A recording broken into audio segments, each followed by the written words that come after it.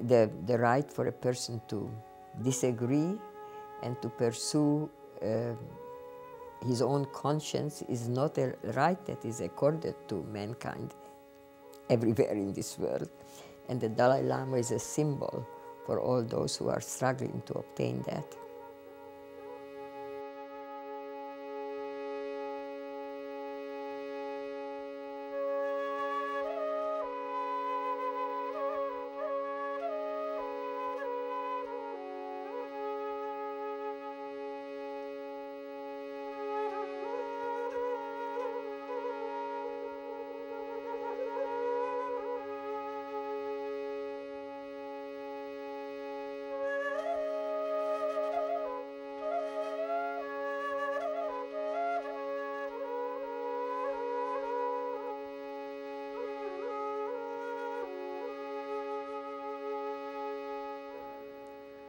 What accounts for the rise of this humble Buddhist monk from near obscurity to the global phenomenon that he has become?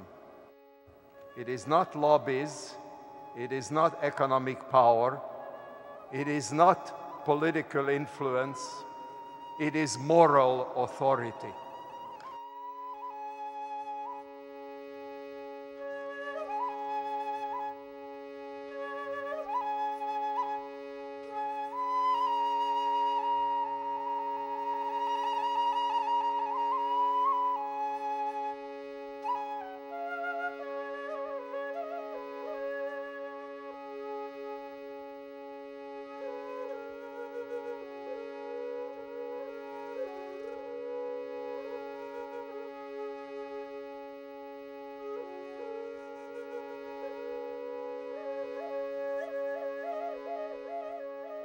Uh, Dalai Lama is, you know, uh, devoted to um, make um,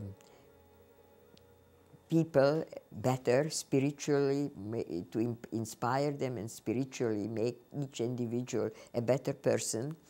And Tom was totally dedicated to making the world a better place. And these common shared goals really brought them together.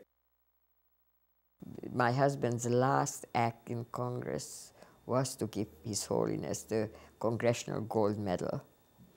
And so the first action of the Tom Lantos Foundation for Human Rights seemed quite obvious will have to be to honor His Holiness.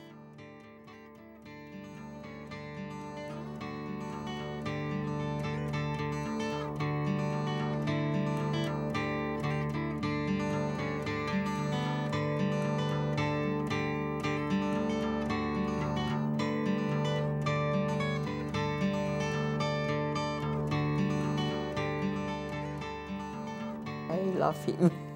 I love the Dalai Lama. I admire him. I feel elevated from just being near him.